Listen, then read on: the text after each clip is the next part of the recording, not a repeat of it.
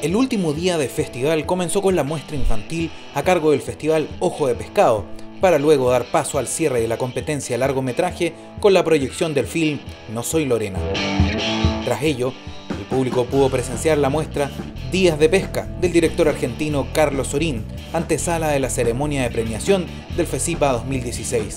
Aquí se exhibieron los trabajos realizados en los talleres de stop motion, dictado por Yagán Visual, Cine de Sombras, a cargo del Festival Ojo de Pescado, y documental, impartido por La Toma. Hasta que llegó la hora de la premiación. En categoría largometraje nacional, el ganador fue Surire, de Bettina Perut e Iván Osnovikov, y la mención jurado fue para Desastres Naturales de Bernardo Kesney mientras que en categoría regional, Patagonia Territorio Fílmico, el film ganador fue Tanana, de Alberto Serrano y Cristóbal Azócar, y la mención del jurado fue para Los Castores, de Nicolás Molina y Antonio Luco. En tanto, el premio del público fue para Trapananda, de Ignacio Aliaga.